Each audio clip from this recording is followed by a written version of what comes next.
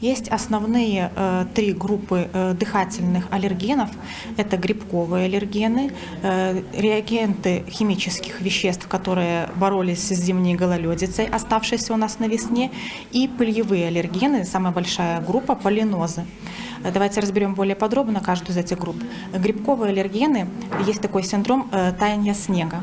После того, как снег тает, начинают падать дожди, э, зачастую появляется э, на почве слой, растет патогенных грибков. Это дрожжевые грибки, грибки аспирогеллы. Их споры разносятся ветром и вдыхаются людьми. Если есть такая чувствительность к именно грибкам, сенсибилизация в организме происходит, то тогда человек начинает реагировать на вдыхание таких таких спор э, слезотечением глаз, э, появлением сухого кашля, э, появляются на коже высыпания, различные теологии. Затем человек часто чихает, у него зуд постоянный, как в полости носа, рта, появляется отечность, он вплоть до того, что человек может задыхаться. Э, такая же самая реакция может и наблюдаться на химические реагенты, которые остались после того, как э, мы боролись с гололедицей и с травматизмом. На вот такая чувствительность к этим химическим веществам может вызывать точно такую же симптоматику. Ну и самая большая группа аллергенов – это э, пылевые, пыльцевые аллергены, полинозы, за счет связанные с тем, что начинается сезонное цветение – есть э, различные группы э, растений, которые цветут, и начиная с середины марта уже начинают э, цвести ранние деревья. К ним относятся, например, ольха, деревья ива, верба. Цветение этих деревьев с появлением почек уже начинается разноситься аэрогенно по воздуху пыльца, которая вызывает чувствительность у людей, сенсибилизацию, и те, кто склонны к этим разновидностям аллергии, начинают страдать за задыхаться, э, появляется неприятная симптоматика. Для того, чтобы э, знать, на что именно э, аллергия у человека развивается, на какую именно группу цветущих растений, стоит отдельно разобраться и понять. В первую очередь, разновидность этих всех аллергенов около тысячи, учитывая, сколько много у нас деревьев и цветущих трав. Поэтому можно определять диагностически Э, с помощью э, определения по крови. Э, в первую очередь мы, конечно, соберем анамнез, и человек сразу почувствует в том, что он знает, когда начался первый симптом аллергии. Мы можем уже связать с периодами как раз-таки цветения определенных видов растений. Затем по крови мы уже можем убедиться. Общий анализ крови с развернутой формулой дает нам определить повышение эузинофилов. Это можно сделать в любой поликлинике, такой анализ. Э, крови. Э, дальше уже на определение специфичных антител, то есть конкретно уже к определенному виду, э, нужно определяться уже у таких специалистов, как аллерголог, иммунолог. Это специфичные анализы и специфичная диагностическая методика используется на выявление иммуноглобулинов класса Е. Также есть такие тесты по коже, когда слегка травмируется кожа, капается туда определенная группа аллергенов, да, там на планшетке в каплях, цитрусовые, пыльца различных растений, как по этим симптомам, там злаковые да, э, деревья. И сразу за, за 15-20 минут можно определить по реакции на коже, на какую группу э, выявляется аллергия. Это может быть э, антигистаминная терапия.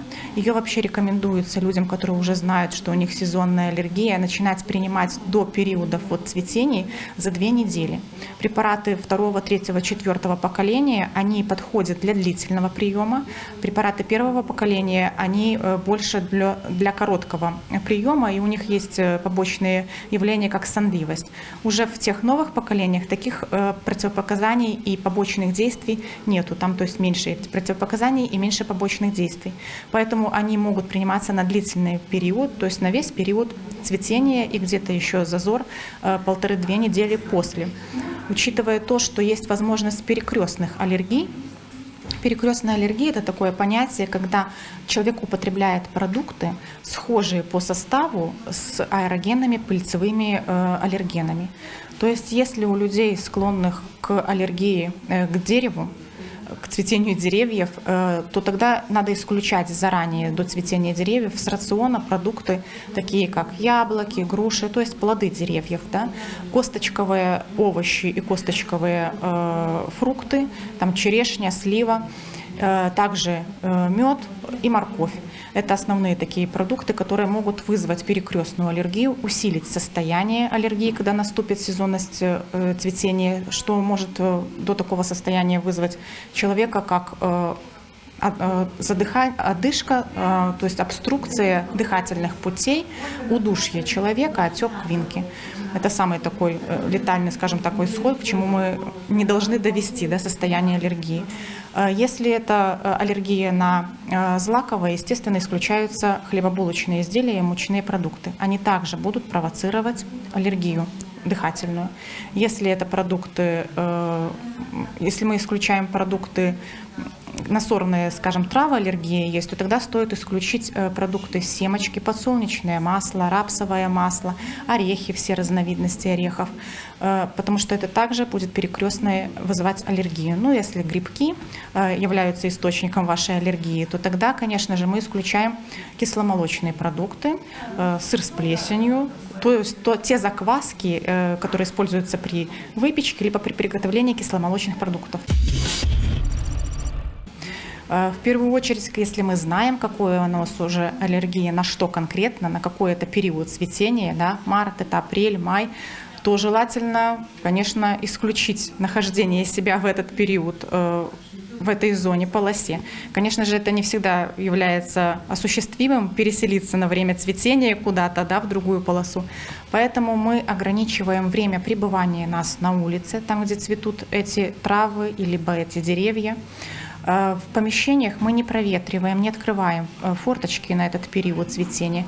Делаем просто влажную уборку, а проветривание разрешается тогда, когда прошел дождь. Потому что, конечно же, концентрация вот этих всех аэрозольных аллергенов в воздухе минимальная после прохождения дождя и там и во время дождя.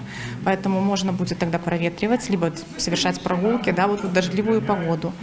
Э, когда мы выходим на улицу, то, конечно же, стоит защитить органы, лор-органы, то, что непосредственно контактирует с аллергенами. Э, поэтому мы э, надеваем очки солнцезащитные да, для того, чтобы конъюнктиву склер глаз защитить. Э, маску одеваем.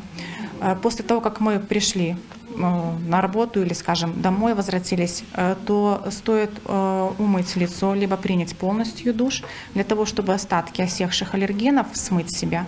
Также стоит прополоскать нос и рот. Это могут быть специальные э, спреи, э, либо это простые солевые на основе соленых воды, либо это можно сделать самому, просто кипяченая вода, либо раствор соляной, самоприготовленный. Э, после того, как мы уже себя защитили, убрали лишние аллергены, не забываем про прием антигистаминных препаратов, э, которые на длительный период назначены. Их могут порекомендовать фармацевт, можно обратиться к врачу общей практики. Но если вы столкнулись впервые с таким заболеванием, для вас это раньше э, не было характерным, то тогда стоит обратиться к специализированному врачу, аллергологу, иммунологу, который назначит именно конкретные специфичные для них анализы, да, для того, чтобы выявить конкретный аллерген, и тогда может использовать определенную терапию, э, иммунотерапия, которая подразумевает под собой э, лечение э, введением маленьких доз аллергических вот этого конкретного аллергена э, на протяжении 3-4 месяцев. Это длительная терапия, она делается до сезона подъема, конечно же, э, пыли, да, пыльцы в воздухе, но тогда организм знакомится с этим э, чужеродным для себя, на что у него аллергия, э, агентом в мелкодозированных. Это есть препараты подкожно вводятся, либо под язык сублингвально в таблетированной форме. И тогда для него наступление уже весны и вот этой вот э, самого аллергена в воздухе не является аллергической реакцией, и он уже как знает, что это такое, он уже не реагирует